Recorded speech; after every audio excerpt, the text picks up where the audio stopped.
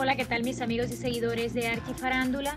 Les comento que el buen momento que atraviesa la carrera de Shakira vuelve a quedar al descubierto con su excelente desempeño en la lista de Billboard, todo un referente de lo que pasa con la música en todo el mundo.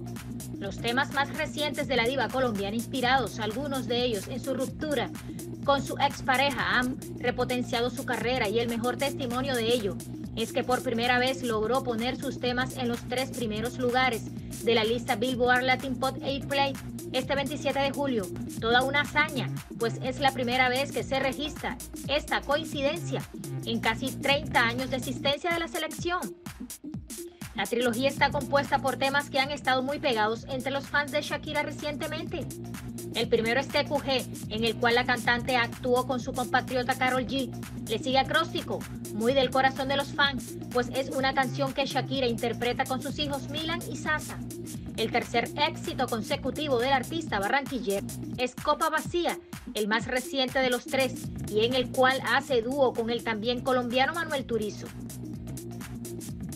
Recientemente la intérprete de acróstico asistió a un partido de béisbol entre Los Ángeles Dodgers y el Toronto Blue Jays, acompañada por sus dos hijos. La escena quedó registrada en su cuenta de Instagram donde compartió una serie de fotos. Durante el evento, el artista cantó una canción que sonaba de fondo. El tema era El Rey, una balada escrita por José Alfredo Jiménez y popularizada al ser interpretada por Vicente Fernández. En el video quedó claro que Shakira y Sasa son fanáticos de Chente, ya que no desperdiciaron la oportunidad de interpretar uno de los éxitos del mexicano.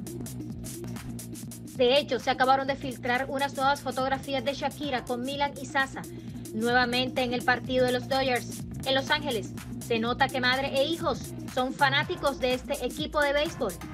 Se pueden observar a Shakira, Milan y Sasa con los jugadores del equipo y algunos directivos se les nota la felicidad de los niños al conocer a uno de sus equipos favoritos de béisbol.